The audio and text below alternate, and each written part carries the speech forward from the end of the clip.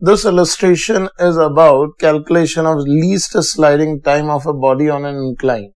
Here the figure shows a fixed wedge block of base length L and inclination theta to horizontal. And it is saying a small body A is released from top of inclined surface on which friction coefficient is K. We are required to find the value of theta for which the time of sliding on inclined plane for body A will be minimum.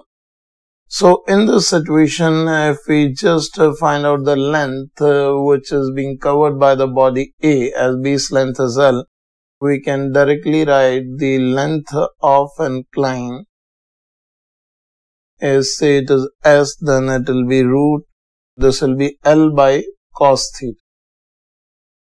Now in this situation when the body slides here you can see it is experiencing its weight mg in downward direction and along the reference line the component of weight is mg sine alpha and the normal reaction onto it will be due to the weight component in normal direction that is mg cos alpha.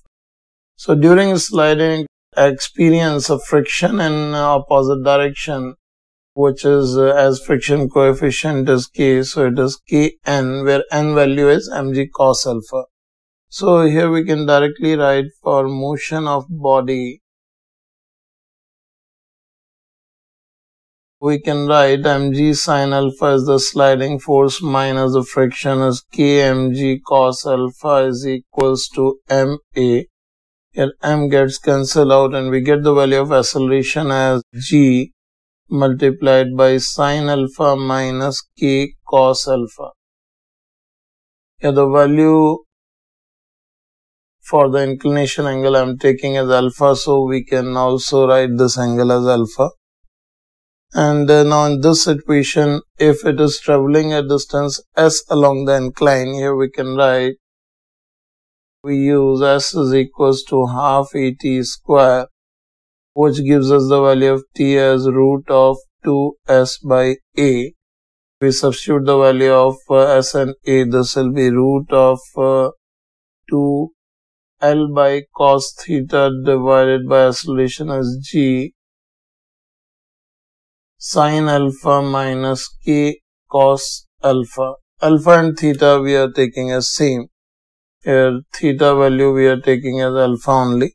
So in this situation here we can write uh, the value of time is root of uh, 2L by G multiplied by this is 1 by cos alpha multiplied by sine alpha minus k cos alpha. So here uh, we can write t is least 1 and dt over d theta is equals to 0. So in this situation dt over d theta or dt over d alpha we can take as 0. So we can differentiate the denominator and equate it to 0. This implies we are getting d over d alpha of sine alpha cos alpha minus k cos square alpha is equals to 0. If we differentiate this value, we are getting this sine alpha cos alpha, so its derivative is minus sine square alpha plus cos square alpha. And further, if we differentiate it, it will be plus 2k cos alpha sine alpha is equals to 0 and on further simplifying this uh, cos 2 alpha plus k sine 2 alpha is equals to 0 this implies on simplifying we are getting the value of alpha as half cot inverse minus k. That will be the final result of the problem at which the time of sliding will be minimum here I'm not uh, verifying whether it is minimum or maximum. Here I'm optimizing the value by differentiating the time and making it equal to 0. So you can further differentiate this relation and substitute the value of alpha and you can check that at that value the value of time is coming out to be minimum by second derivative check you can verify